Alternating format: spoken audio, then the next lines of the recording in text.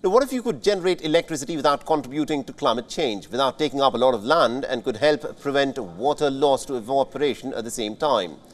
To the rescue are the floating solar panels already going strong in Asia from India to China. But now developers are taking inspiration from that growth and the technology is starting to spread more quickly in the United States as well. Our next board gets you the details. Floating solar panel farms are beginning to boom in the United States of America after rapid growth in Asia. They're attractive not just for their clean power and lack of a land footprint, but because they also conserve water by preventing evaporation. Duke Energy, the large utility that owns some 11,000 megawatts of generation, is aiming to achieve net zero carbon emissions from electricity production by 2050 and hence it is launching a small floating solar pilot in Florida.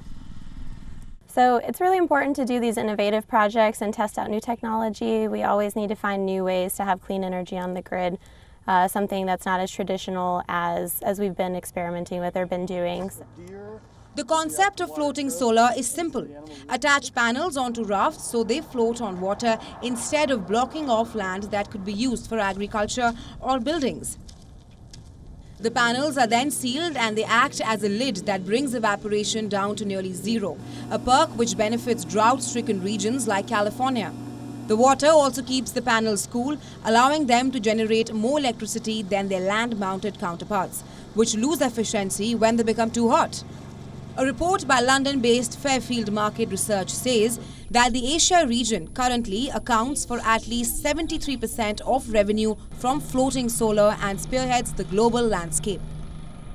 Here in the U.S., where we have more land, what we're seeing is where we have population density islands. In California, in the Northeast, and Florida, those are the hot markets here in the U.S., where again, they don't have land or land is very expensive.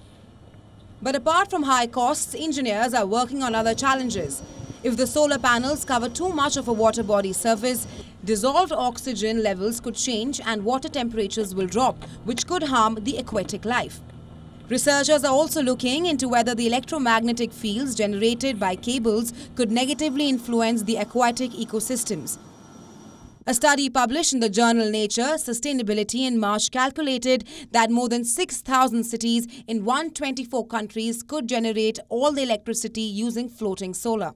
In the process, they could save roughly enough water each year to fill 40 million Olympic-sized swimming pools. WION is now available in your country. Download the app now and get all the news on the move.